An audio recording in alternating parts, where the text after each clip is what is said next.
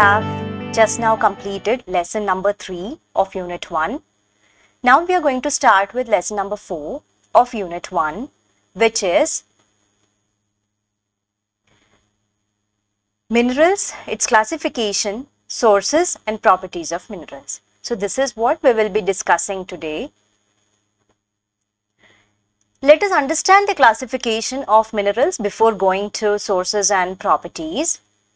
So the classification of minerals, it can be broadly classified into two different types. One is macro minerals and the other one is trace minerals.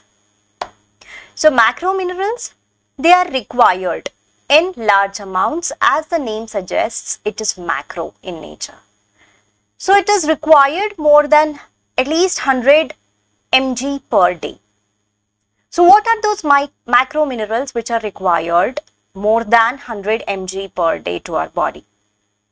So they include calcium, magnesium, phosphorus, sodium, potassium, chlorine and sulfur. Trace minerals are those minerals which are required in smaller amounts, let's say less than 100 mg per day.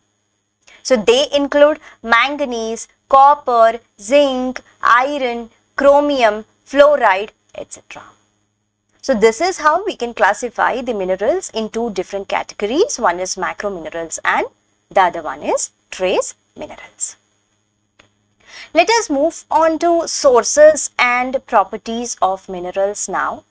One by one, let's see for macro, uh, for macro minerals, what are the sources and properties. For trace minerals, what are the sources and properties. Let us first begin with macro minerals. So let us take calcium in the beginning. So sources for calcium are dairy products which involve milk, cheese, yogurt, also leafy, veggie, leafy green vegetables, fortified foods and almonds. So properties involved for calcium are they're vital for bone and teeth formation.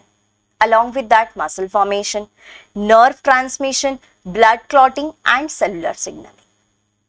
Phosphorus is another macro mineral. The sources for this macro mineral are fish, poultry, dairy, nuts, beans, whole grains and meat. So the properties of phosphorus involve, they are very much essential in the formation of bones and teeth. They are involved in energy production in the form of ATP and cell membrane integrity. Let us move on to magnesium. The sources of this magnesium are green leafy vegetables, nuts, seeds, whole grains, legumes and fish. So the properties of this magnesium are involved in over 300 biochemical reactions in our body. They are also involved in muscle and nerve function. They are involved in blood glucose control. They are involved in blood pressure regulation too. Next macro mineral is sodium. So the sources of sodium involve our table salt, processed foods, canned soups, snack foods and cured meats. So the properties of sodium involved, they're very much critical in balancing fluid in our body. Nerve transmission, muscle contraction and blood pressure regulation. Let us move on to next macromineral which is potassium. The sources of this potassium are banana, oranges, potatoes, spinach, beans, nuts, seeds and fish. So properties of these potassium involve they maintain the fluid and electrolyte balance, they support the muscle contraction, nerve signaling processes and heart function. Let us move on to the next uh, macro mineral which is chloride. The sources of this chloride are table salt, seaweed, tomatoes, olives, processed foods. Properties of chloride involve they help in maintaining the fluid balance in the body. They're part of stomach acid which is HCl. They're involved in the digestion process. Let us move on to the next macro mineral which is sulfur. The sources of this sulfur are or involve protein-rich foods. Let it be meat, fish, eggs, legumes, poultry and nuts. The properties of sulfur are they are an integral part of amino acids like methionine, cysteine. Also, they are an integral part of vitamin, let's say thiamine, biotin, and they are involved in detoxification processes in our body.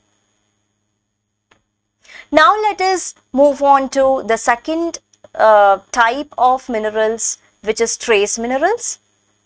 Let us discuss the sources and properties of the trace minerals one by one. Let us begin with iron. The sources of Fe are red meat, poultry, fish, lentils, beans, fortified cereals and spinach. So the properties of this iron are, they are key component of hemoglobin which are involved in oxygen transport, myoglobin in muscle oxygen storage and they are involved in energy production. Let us move on to the next trace mineral which is zinc. So the sources of zinc are meat, shellfish, legumes, seeds, nuts, dairy products, eggs, whole grain. The properties of the zinc involve it supports the immune function, wound healing in our body, DNA synthesis, cell division and protein synthesis in our body. Also, copper, its sources are shellfish, nuts, seeds, whole grains, liver, beans. What are its properties? So, it is important for iron metabolism, antioxidant defense, energy production and also connective tissue formation. Let us move on to the next trace mineral which is manganese. The sources of this manganese are nuts, legumes, seeds, whole grains, green leafy vegetables. The properties of this manganese involve they are highly involved in bone formation, amino acid, cholesterol, glucose and carbohydrate metabolism.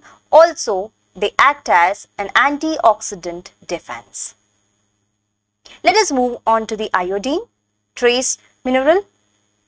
The sources of this iodine are iodized salt, seafood, dairy products, eggs and seaweed also.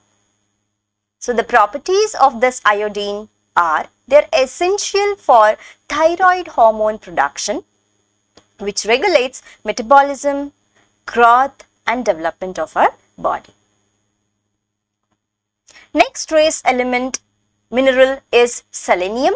The sources of this minerals mineral are Brazil nuts, seafood, meat, eggs, dairy products and whole grains.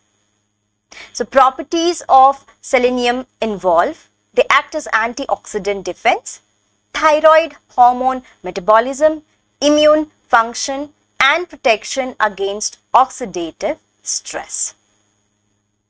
Next trace element is molybdenum. The sources of this molybdenum are legumes, grains, nuts, leafy vegetables and dairy products.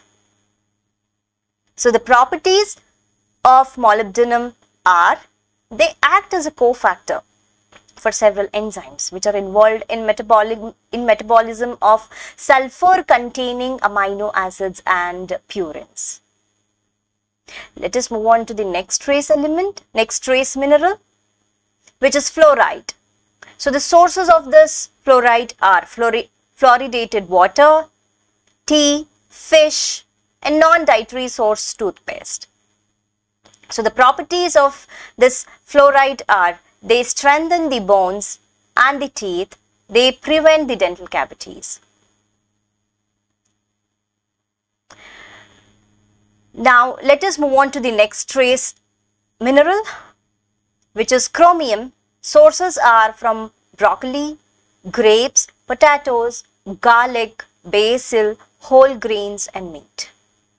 So the properties of this chromium are it enhances insulin action, it is involved in carbohydrate metabolism, lipid metabolism and protein metabolism too. Now, we have a reflection spot here. I want you all to recall the classification and sources of minerals. With this, we come to an end of lesson number 4. Thank you so much.